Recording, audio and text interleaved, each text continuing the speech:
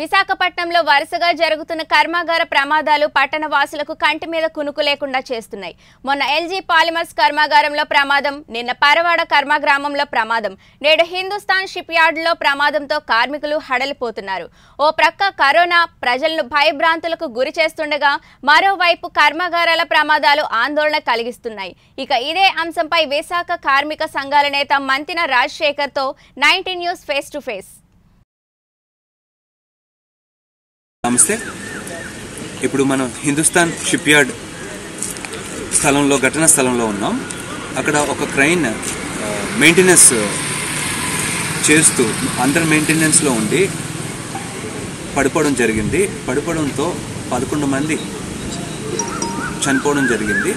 ఆ చనిపోయిన వాళ్ళని కొంతమందిని ఇంకా కేజెస్ తరలించారు.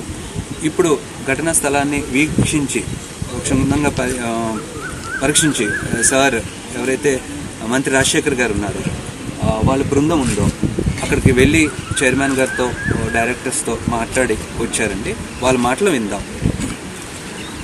సార్ ఘటనా స్థలానికి వెళ్ళి అక్కడ వీక్షించి సుపీరియర్స్ని కలిసి వచ్చారు కదండి. డీటెయిల్స్ నైన్టీన్ ఛానల్కి తెలియదు. సో ముందుగా నైన్టీన్ ఛానల్కి ధన్యవాదాలు. కార్మిక వర్గం పట్ల ఈ పరిశ్రమల్లో ప్రమాదం జరగకుండా సేఫ్టీ కోసం ప్రత్యేకమైన చర్యలు తీసుకోవాలని కోరుతూ నైన్టీన్ న్యూస్ ఛానల్ వారు కార్యక్రమం తీసుకోవడం అభినందన విషయమే కానీ ఈరోజు ఒక చాలా దురదృష్టకర సంఘటన. విశాఖపట్నంలో షిప్ యార్డ్ అనేది అవకాశం చాలా పేరుగాంచినటువంటి సంస్థ.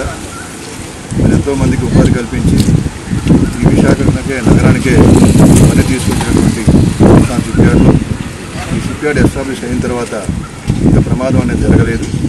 ఈ క్రేన్ కమిషనింగ్ ఎరక్షన్ అయిన తర్వాత లోడ్ టెస్టింగ్ జరుగుతున్నప్పుడు ఈ పెద్ద ప్రమాదం జరిగింది. ఈ ప్రమాదంలో పది మంది ఆల్రెడీ చనిపోవడం జరిగింది. వీరందరినీ కూడా అందరూ క్రేన్ మీద పనిచేస్తున్నారు. ఆ క్రేన్ మీద పనిచేసిన అందరూ కూడా మరి చనిపోవడం ఒకేసారిగా వీరు కేజీఆర్ షిఫ్ట్ చేయడం జరిగింది. ఇంకొకరు ఉన్నారు. అది ఏంటి అనేది ఇంకా పూర్తిగా మనం కొంత బాడీ కనబడుతుంది. సో ఆ విధంగా ఐడెంటిఫై చేయాల్సిన ఆవశ్యకత కూడా ఉంది.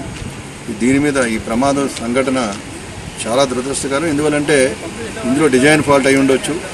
లేదా గతంలో గుజరాత్ చెందినటువంటి అనుపమ అనే కంపెనీకి ఇచ్చారు. వారన్నీ కూడా పార్ట్స్ అన్ని తీసుకొచ్చి అసెంబ్లింగ్ చేసి ట్రైన్ ఎలక్ట్ చేయడం జరిగింది. వాళ్ళు మధ్యలో ఇక్కడి నుంచి వెళ్ళిపోవడం జరిగింది.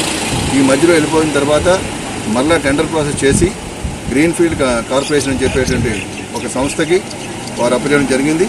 అది కూడా ఈ కరోనా కోవిడ్ కారణంగా కొంత లేట్ అయింది. ఒక ఆరు నెలల కిందట వారికి వర్క్ అవార్డు ఇవ్వడం జరిగింది.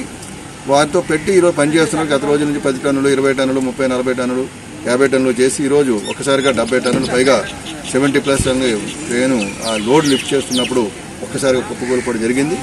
దీన్ని మేము అర్థం అనుకుంటుంది ఏంటంటే చాలా కాలంగా ఎయిట్ ఇయర్స్ బ్యాక్ ఎప్పుడో ఈ అనుపమ వాళ్ళకి ఇవ్వడం వల్ల అప్పటికే మొత్తం రస్ట్ పట్టి పూర్తిగా డ్యామేజ్ అయి ఉంటుంది. లేదా డిజైన్లో ఫాల్ట్ అయి ఉంటుంది. సేఫ్టీ ప్రికాషన్స్ కూడా కొన్ని సరిగా తీసుకోవాలని పరిస్థితి ఉందని చెప్పేటువంటి కూడా మేము ఐఎన్టీసీగా భావిస్తున్నాం. ఇది చాలా దురదృష్టమైన సంఘటన. విశాఖపట్నంలో మొన్ననే పాలిమర్స్లో సంఘటన జరిగింది. గ్యాస్ లీకేజ్ ఇట్లాంటిది స్థిరైనది లీక్ అవడంతో బయట పబ్లిక్ కూడా చనిపోవడం జరిగింది. మన దగ్గర దగ్గర పాలిమర్స్లో ప్రమాదం పాలిమర్స్ కాకుండా ఫార్మాసిటీలో కూడా ప్రమాదం జరిగినాయి.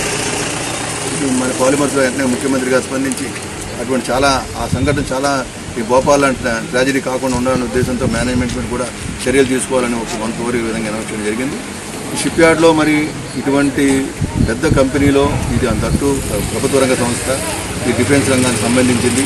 దీనికంటే విధి విధానాలు కూడా ఉంటాయి కాబట్టి ఇప్పుడు మేమంతా సంఘటనా స్థలాన్ని పరిగణించి చాలా దారుణమైనది ఇది ఒక్కసారిగా మొత్తం అంతా పడితే కుప్పకూలిపోయింది ఇంకా లక్కీగా కిందన ఎవరు పని చేయలేని పరిస్థితి ఉంది కాబట్టి కొద్దిమంది పరుగు పరుగులు తీశారు. లేదా ఇంకా చాలామంది చనిపోయే పరిస్థితి ఉండేది. ఎవరైతే క్రెయిన్ మీదకి వెళ్ళినట్టు పెర్మనెంట్ ఎంప్లాయీస్ నలుగురు అలాగే ఈ గ్రీన్ ఫీల్డ్లో పనిచేసేటువంటి వాళ్ళు ముగ్గురు అలాగే లీడ్లో పనిచేసేటువంటి ఇద్దరు అలాగనే మన స్టాగ్లో స్టాగ్ సెవెన్లో ఉన్నటువంటి ఎవరైతే క్రెయిన్ ఆపరేషన్ ఉందో వీరందరినీ మరి మేనేజ్మెంట్ వాళ్ళు ఉన్నటువంటి ఎలక్ట్రికల్ అండ్ క్రెయిన్ మెయింటెనెన్స్ వాళ్ళు రమ్మంటే వాళ్ళు వెళ్ళడం జరిగింది. సో ఈ విధంగా మొత్తం అంతా కూడా మరి ఏదో ఒక కారణం ఏ కారణమైనా కానీ దీన్ని పూర్తి సమగ్రంగా దర్యాప్తు చేయాల్సిన ఆవశ్యకత ఉంది. బాధ్యుల మీద చర్యలు తీసుకోవాలి.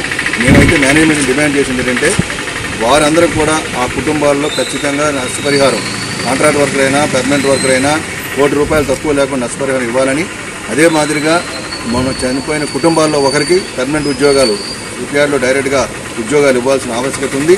ఇటువంటి ప్రమాదాలు భవిష్యత్తులో జరగకుండా కట్టుదిట్టమైన చర్యలు తీసుకోవాల్సిన ఆవశ్యకత ఉందని చెప్పేటువంటిది స్వయాన మరి షిప్ చైర్మన్గా శరత్ బాబు గారు మంచి వ్యక్తే. చాలా వరకు మధ్యన ఎంప్లాయీస్ కూడా కొన్ని బెనిఫిట్లు తీసుకొచ్చి ఆయనతో మాట్లాడటం డైరెక్టర్స్ అందరితో కూడా చెప్పి రావడం జరిగింది. వచ్చి మొక్కుబడికి వెళ్ళిపోకుండా వారికి క్లియర్గా చెప్పి కాంట్రాక్ట్ కూడా పిలిచి గట్టిగా వార్నింగ్ ఇచ్చి మీరు చేయడం మంచిది కాదు. మీరు ఏ విధంగా ఎంత నెగ్లిజెన్స్గా చేసే పరిస్థితి ప్రాణాలతో చెలగాటు కూడా మంచిది కాదని చెప్పేటువంటి అధికారులకు వారికి కూడా హెచ్చరిక చేయడం జరిగింది. దాని మీద వారికి ఇప్పుడు అందరూ కూడా యూనియన్ కూడా పిలిచారు. మిగతా ఉన్నటువంటి డిపార్ట్మెంట్ వాళ్ళని అందరినీ పిలిచారు. కాంట్రాక్టర్స్ని మేనేజ్మెంట్ కూడా మాట్లాడుతున్నారు.